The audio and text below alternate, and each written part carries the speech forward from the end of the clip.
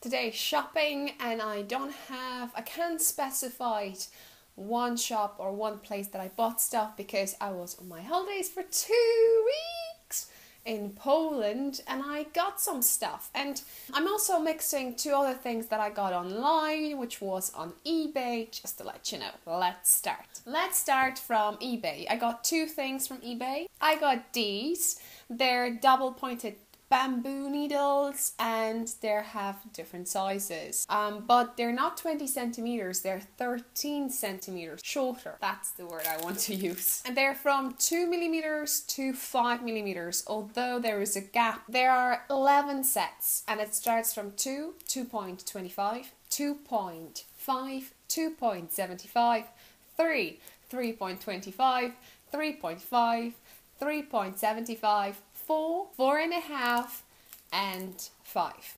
I think it would be perfect for small objects like toys or hats, and I'm doing an Irish picnic thing, and I'm using these. So, woo! next two things that I got, um, I got I got pom pom makers. These two, they're tiny. I use this for one pom pom for the for the Irish picnics, but I haven't noticed that this one is slightly bigger. Hmm. So I need to use this. And I got set of these and they have four sizes. I use this one for the Irish picnics too in one hat. I'll see it in the future video. I already used the orange one for the next hat giveaway. So yay! So if you don't know how to use them, both of them, even these, you can separate them. So don't afraid to pull. I was for a bit. So basically a quick thing how it works. You open it up, join together, get the yarn, go around, cut, get the yarn, go around, cut, close. That's why you have those fancy things. Get sharp scissors, and then you see there is a gap. You cut it, and then through that gap you get a um, piece of yarn, and you just do one knot, another knot, and then you just open up and take it out. That's simple. And the same as with these. I wasn't sure, but you can you see it's very hard with these. There is a oh a pin. That's how it works. That's all from eBay. Those 11 needle sets were for less then all of them were for less than 3 euro. These pom pom makers were also less than 2 euro, well, both. And that set was slightly more expensive, but um, it was also like 3 something or 4 something, so not that bad. Right, now shopping in yarn. In Poland, we went to few markets. Anyway, in the first one, I got these. Oh my god, they're beautiful, aren't they? They are, aren't they? So, what is it? From Madame Tricot Paris, Urin Bayan. Merino Gold batik design and it is 30% wool, 70% acrylic and the color is 805.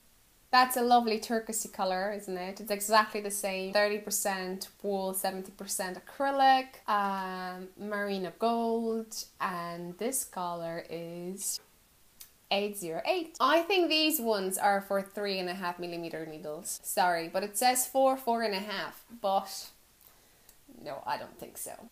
And I wanted to make socks. But my mum saw it, she said it's too good for socks. So I paid for it this is the price. To divide it by four to get it. So basically I paid three something less than four euro. Yeah, in my own town I went to two shops that you can buy yarn. Well, most of it is acrylic, but if I go somewhere, I need to get something anyway. So last year, I got two balls of each color. I used up uh, both of them. I just have those two. I made a hat for a giveaway with uh, with this color. I did exactly the same. I got it from Opus. That's the name. It's Włóczka, so in Polish means yarn. and Mimosa Natura. That's what you call this thing, and it's apparently for three and three and a half millimeter needles, and it's 100% acrylic. And this color is is nice turquoisey color, and this color is 80, and I got two of these. Brown color, that's different. Oppo the same company and it's Włóczka, so means yarn in Polish. And you have Polo Natura, color 217, brownish. And these are on four and four and a half millimeter needles. And this is not 100% acrylic. It has a wool, ladies and gentlemen, and it's 50-50. So it's 50 wool, 50% acrylic. And I got two of these, but planes travel broke. In the second shop, I was looking for nice colors, and the only color that uh, was brought to my attention was this one. It's a pink, but it's like a faded rose color, if I can call it that way.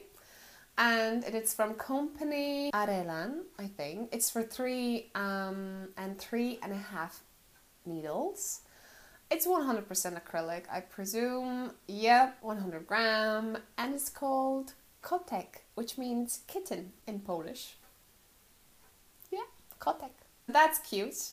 I got one. They're were made in Turkey, and I like to get myself a souvenir and get something that it was is originally made in country. So um, last time, the only wool I have 100% wool is an Irish wool from Kerry Woollen Mills.